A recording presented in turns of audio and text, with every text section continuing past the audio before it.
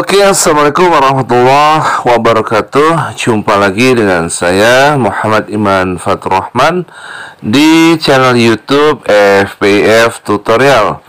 Oke, kali ini saya akan bahas mengenai Bagaimana caranya Membayar tagihan Pay letter ya. Nah, kebetulan di sini saya pakai Pay letter di aplikasi Traveloka. Traveloka Oke kita buka aplikasi Traveloka.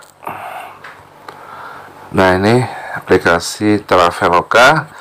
Dan kebetulan saya sudah di ACC ya untuk uh, pay letter saya.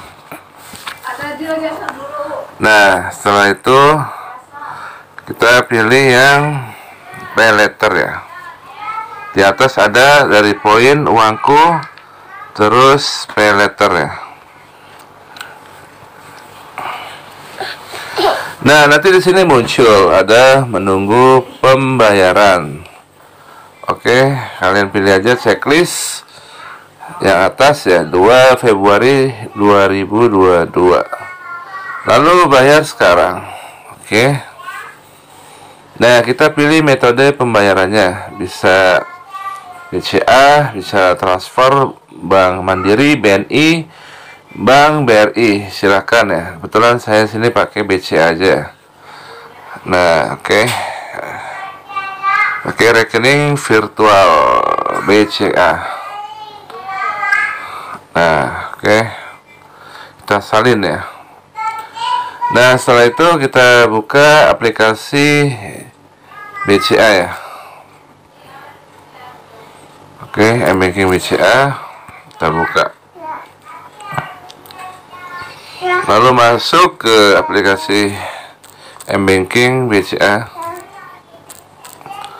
dan login di aplikasi M-Banking BCA lalu pilih M-Transfer dan pilih BCA Virtual Account. Lalu tempel ya.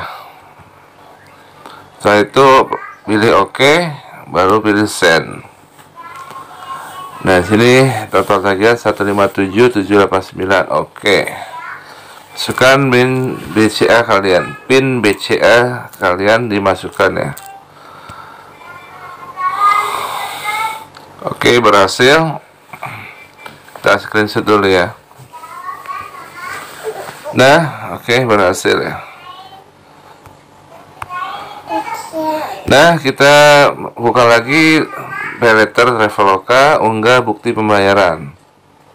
Oke kita unggah enggak dari galeri ya.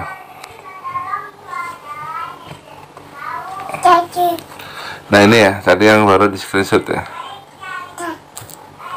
Lalu pilih.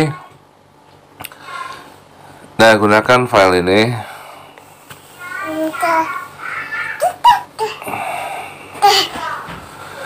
Nah oke okay, sudah berhasil ya. Oke okay, eh, kalian bisa lihat bukti pembayarannya ini ya dan di sini tulisan berhasil. Nah ini dikirim ke email saya. Oke lihat ya di sini. Status sukses. Oke itu aja dari saya. Semoga bermanfaat. Jangan lupa klik subscribe like dan bagikan video ini. Jika dirasakan video ini bermanfaat. Oke see video. Assalamualaikum warahmatullahi wabarakatuh Okay.